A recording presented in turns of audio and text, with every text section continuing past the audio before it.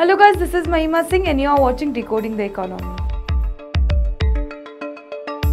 The Union Cabinet chaired by Prime Minister Narendra Modi has approved a transformational organizational restructuring of Indian Railways. This historic reform will go a long way in achieving government's vision of making Indian Railways the growth engine of India's Vikas Yatra.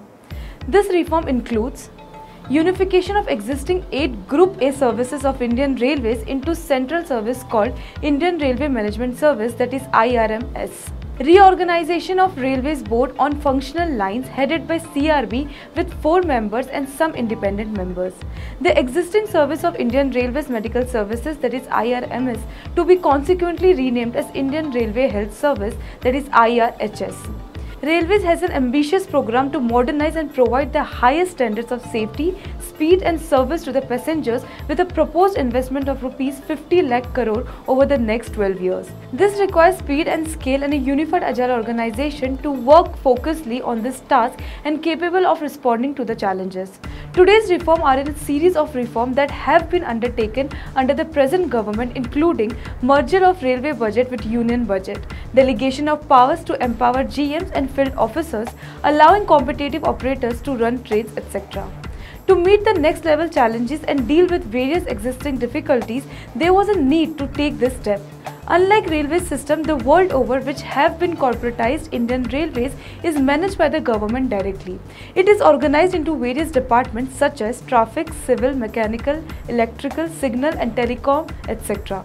These departments are vertically separated from top to bottom and are headed by the secretary level officer in the railway board. This organization of department runs deep down to the grassroots level of the railways. Unification of services will end this departmentalism, promote smooth working of railways, expedite decision making, create a coherent vision for organization and promote rational decision making.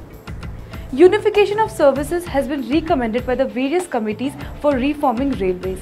It is now proposed to create a unified Group A service called Indian Railways Management Services from the next recruitment cycle. Creation of new services will be done in consultation with Department of Personnel and Training and UPSC to facilitate recruitment in the next recruitment year. It will enable railways to recruit engineers and non-engineers as per the need and offer equality of opportunity to both categories in career progression. The modalities and unification of service will be worked out by the Ministry of Railways in consultation consultation with DOPT with approval of alternative mechanism with appointment by the cabinet in order to ensure fairness and transparency.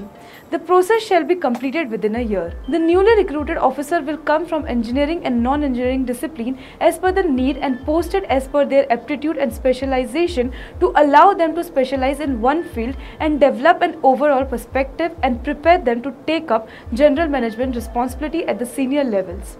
Selection for general management position shall be through a merit-based system. Railway board will no longer be organized on department lines and replaced with a leaner structure organized on functional lines. It will have a chairman who will act as the CEO along with four members responsible for infrastructure, operation and business development, rolling stock and finance respectively. The board will also have some independent members who will be highly distinguished professionals with deep knowledge and some 30 years of experience including at top levels in industry, finance, economics and management fields. The independent members will help the railway board in setting a strategic direction. The restructured board will start functioning after approval of board taking due care to ensure the officers are posted in the restructured board or adjusted in the same pay and rank till their retirement. If you like the video, do share. For more such videos, keep watching My Nation.